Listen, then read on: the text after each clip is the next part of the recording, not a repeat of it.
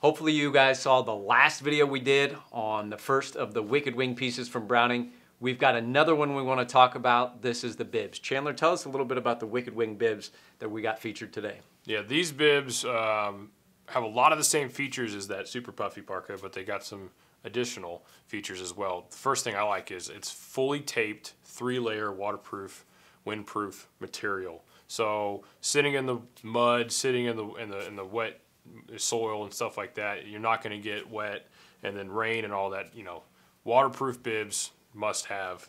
Um, what else they got in them? Um, they're going to have some zipper pockets up here on the chest. It's going to have one big zipper pocket from the top.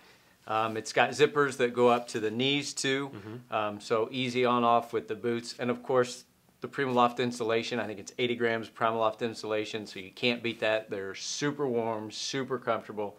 And like we told you, with the Browning Wicked Wing in Max 5, that's exclusive to Rogers. Yep, you only find it in Max 5 at Rogers Sporting Goods. Um, such a great piece, such a great price point. Click the subscribe button right down there, especially if you didn't see our last video uh, on the Browning Wicked Wing series pieces. Also, there's going to be a link in the description so you can check out this piece on our website. Follow us on Instagram, follow us on Facebook, check us out over there. Lots of fun user submitted stuff over there as well.